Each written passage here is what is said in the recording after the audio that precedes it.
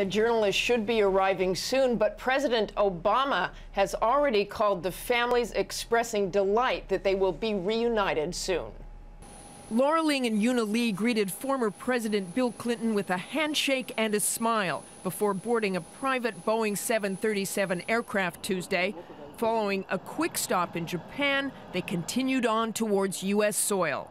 Clinton's wife, Secretary of State Hillary Clinton, on an official trip in Kenya this morning, praised the journalist's release. I was very pleased to get the news that uh, my husband's plane had taken off from Pyongyang with the two uh, young women on board. A senior White House official says the process was several months in the making. In July, Lee and Ling told their families by phone that the North Koreans specifically asked for Clinton to come to North Korea and that the journalist would be freed if he did. And they had their reasons. It's been their dream for years to have an American president come to North Korea. Former Vice President Al Gore, co owner of the TV network where Ling and Lee work, relayed the message to Clinton.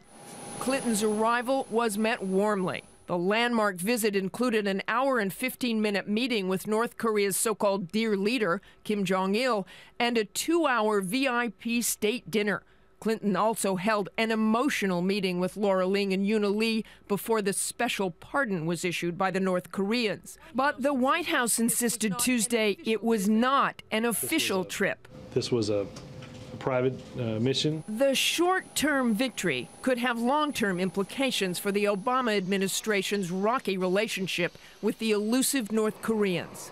Bill Clinton's trip may have resolved uh, potential sticking point as far as multilateral negotiations and also bilateral negotiations. But the benefit is two sided. The North Koreans, long isolated by the international community, can show an act of good faith on the world stage and flex their muscles to their own people. North Korea is going to use this for propaganda purposes. The Americans, the arch enemy, are coming to North Korea um, to talk to our dear leader, Kim Jong il. Former U.S. Ambassador to the UN, John Bolton, told Fox News he is concerned the negotiations could set a dangerous precedent. I mean, this is a classic case of rewarding bad behavior, the seizure of these two basically innocent Americans. Obviously, all of us want to get them out, but we want it done in a way that doesn't increase the risks in the future for other Americans.